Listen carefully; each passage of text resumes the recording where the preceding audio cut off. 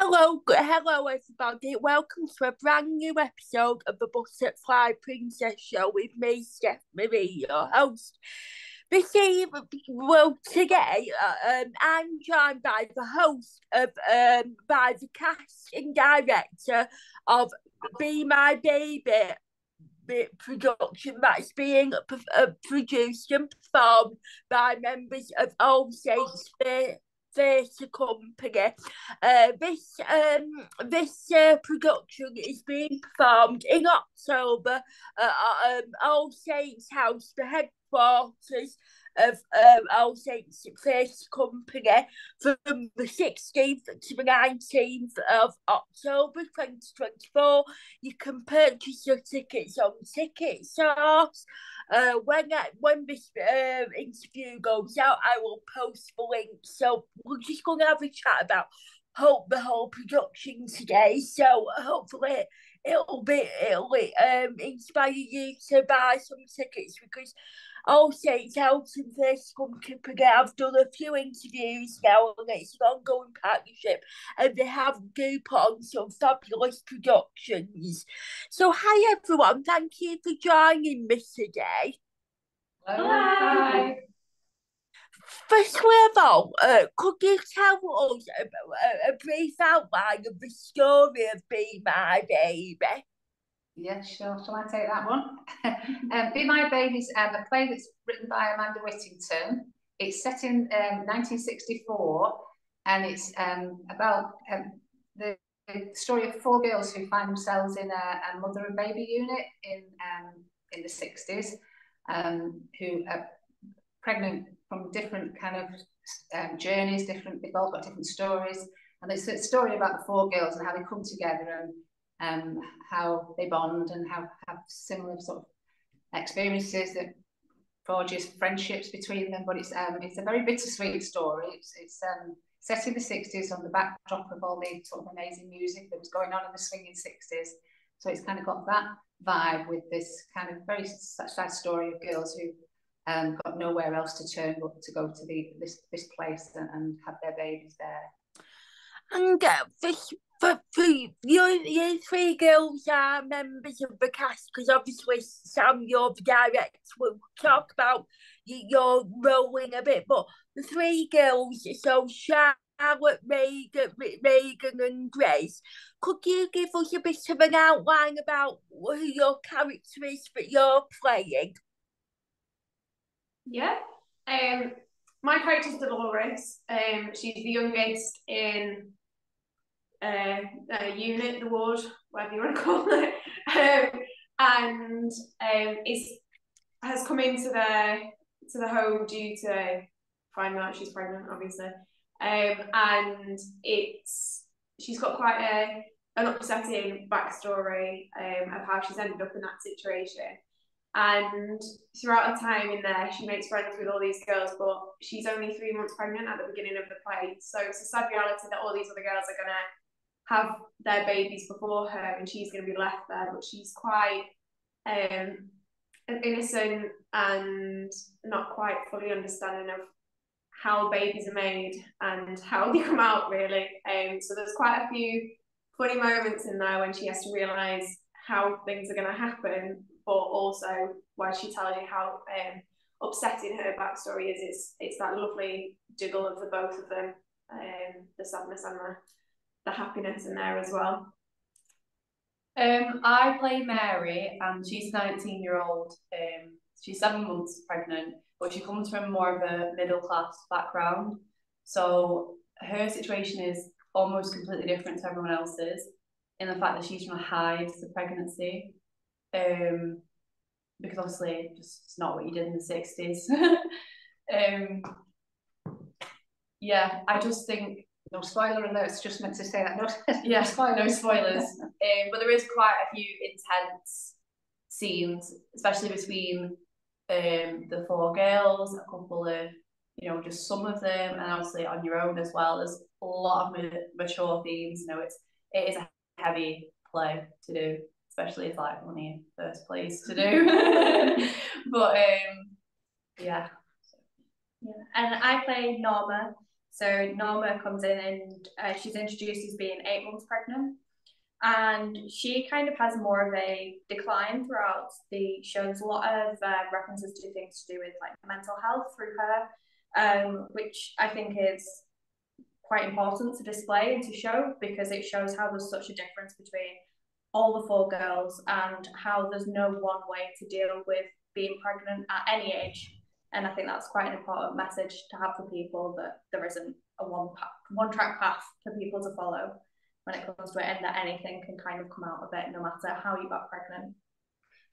Thank you for a brief um, introduction to the characters you play. Now, Samantha Sam, I wanted to talk to you because obviously you're the director of the play, and obviously, um, you know, you know, um, you were obviously part. Well, you're part of All Saints Out, which we'll talk about in a minute. But uh, Sam, you, you're the director of this play, and obviously your husband Martin was uh, the musical director of the Beauty and the Beast, sort of the West End uh, production that um, that All Saints performed earlier on this year.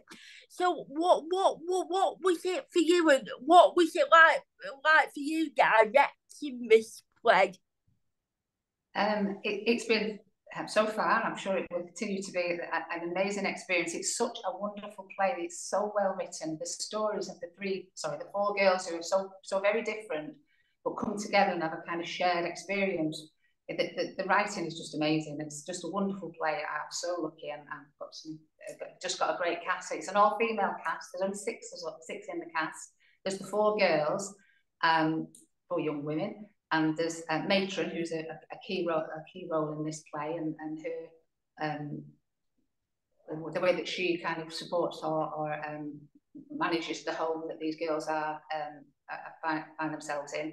That's a really important part of the play as well and also the mother of Mary, Mary's mother is the sixth character really, and seeing her perspective on this situation that she finds her daughter in is just an amazing thing to be part of really, and I'm just so lucky to, to be asked by All Saints, who is such a wonderful society that give people the opportunity to do different things. I've acted and done musicals, but I've never directed before. So to be to be given this opportunity is, is wonderful, and with such an amazing play, I'm so lucky. Can't believe how lucky I've been.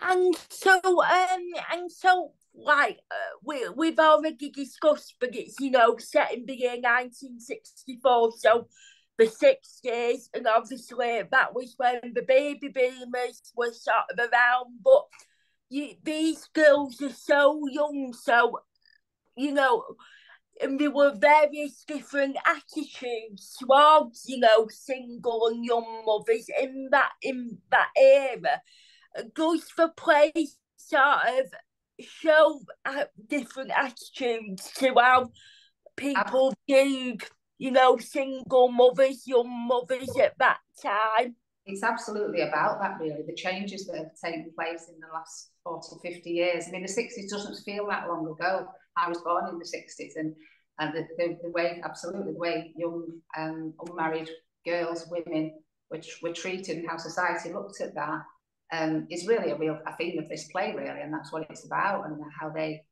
um, uh, found themselves in, in the 60s, which we all think of as the swinging 60s, but the, the contraception pill and, and um, legalised abortions and terminations were not available to young girls, young women, until very much late in the, later in the 60s.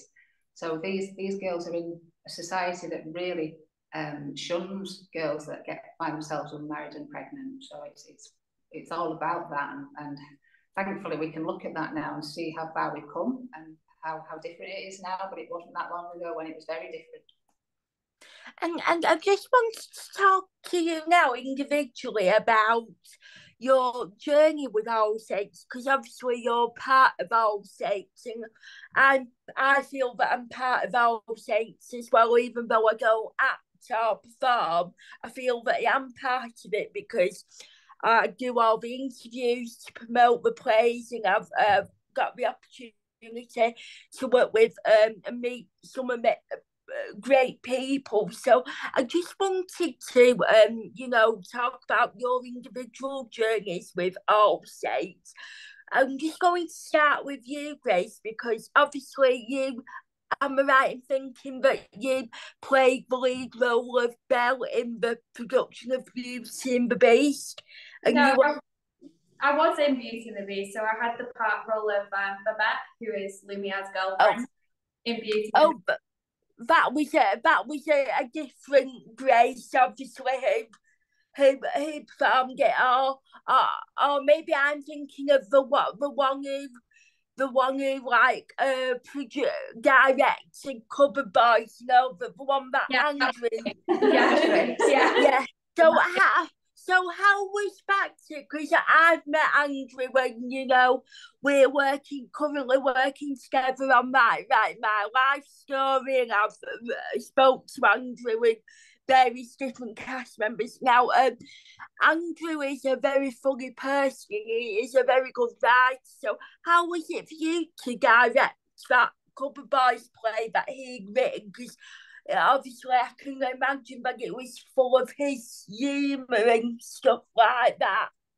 Yeah, it was good. It was a nice opportunity. Originally, I didn't come in uh, directing it. I came in as being a prompt for the show.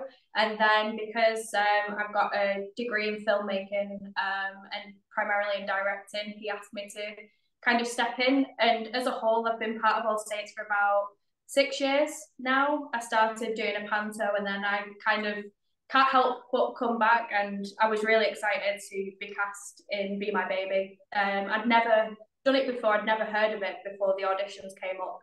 So I'm really, I'm really excited to be a part of it because I feel like every rehearsal, it's you learn something more about your characters and about their story, and that's been really beautiful of this process.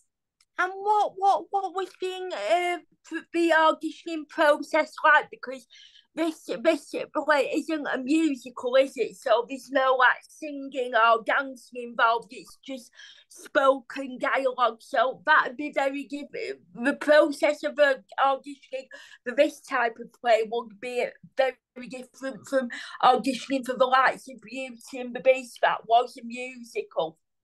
Yeah, it was a different process. Um, I mean, for Beauty and the Beast, it was kind of an open um, call. Everyone was in one room. Um, for this, we came in individually. So prior to the audition, we were given pieces for each of the character, depending on which ones we wanted to audition for. Um, and we would audition with um, those parts of the script. Occasionally, you'd be asked, can you read in for a different character to see how you do, to find the best fit for you, and if there's a character that you're more suited towards. And then for those of us that went for any of the girls, we also um, did a bit of singing along with a track. To make sure that we could kind of do it how um, how Sam had envisioned it for for the production. Um, Regan, what obviously I've never met you before. Tonight is the first time I've met you. So could you tell me a bit about your journey with All Saints? If you've been involved in any of the productions before, or yeah. So um, I inquired in like ages ago, like last August um, about any shows and just theatre groups in the area. And I got a message saying, we don't have anything at the moment. Um, and I completely forgot, you know, as you do, just get on with life, you forget. And I got an email in February of this year saying, hey, we're doing casting for Beauty and the Beast. Do you want to come down? And so I dragged my friend along with me and we came down and did the audition right scared. Um, dead scared everyone's going to be dead judgy, but they weren't. Everyone was lovely. um, and so yeah, I auditioned for that. Obviously, it was in the ensemble, and I had a blast. It was great. Um, made some great memories and everything like that. And, um, and sorry, Charlotte, uh, I forgot your name And Charlotte. Obviously, I've met you before because uh, we, uh, I met you along with uh, doing the interview with yourself and Olivia, and that was about the production of uh, Matilda Junior that you did, you know, with the youth theatre. And so you've had both experiences of like Sam yourself, you've acted in productions, but you've also had the chance to direct and work with the younger members of All Saints. Yeah, that's right. So um last year, like you said, we did Matilda Junior with Olivia, and the year before we did Jungle Book and Annie. Um, we've just started the process of, um, well, basically rejoining Um, so we started last week and we're working towards our Christmas production with them. Um, and then the same time next year will be the musical.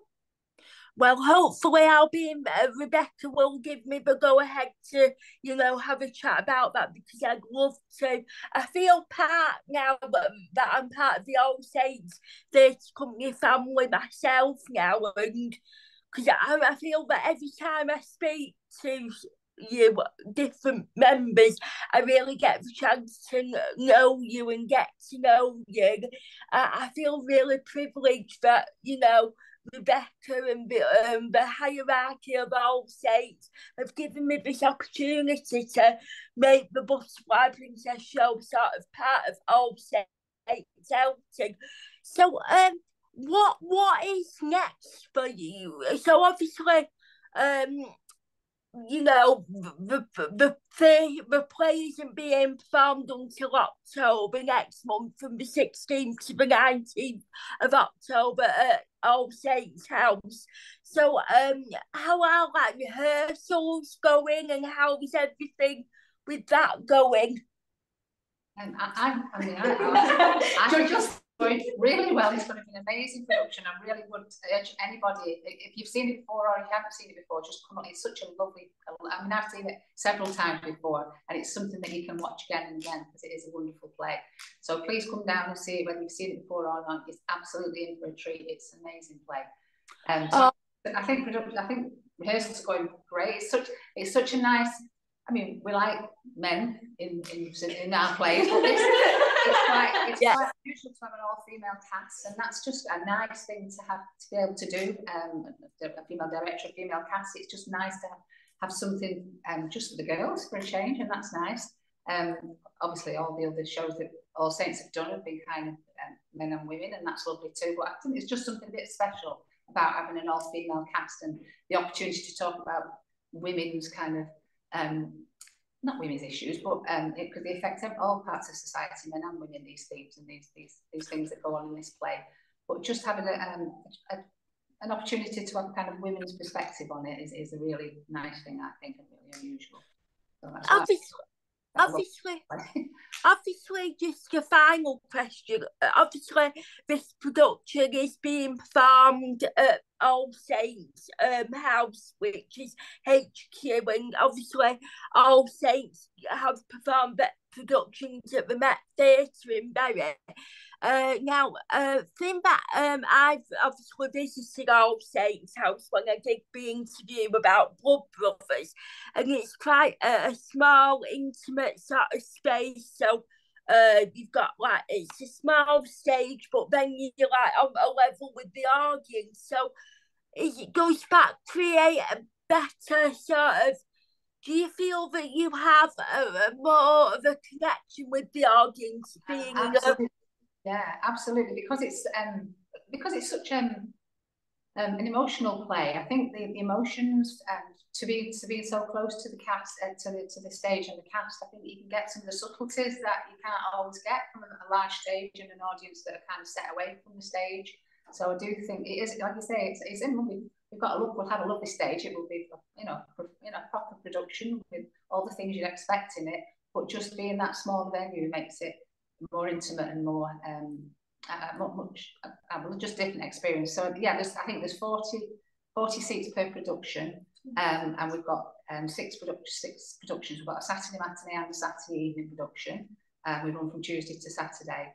Um, so even though it's, you know it's that it's a small small space, but it's um, still got enough to have the atmosphere of a theatre production. It's just perfect. It's actually the perfect balance, and it does allow you to kind of do it on a um, on a budget as well, which is important to a society like this that's trying to kind of generate income to, to help fund some of the big the big musicals that we do as well.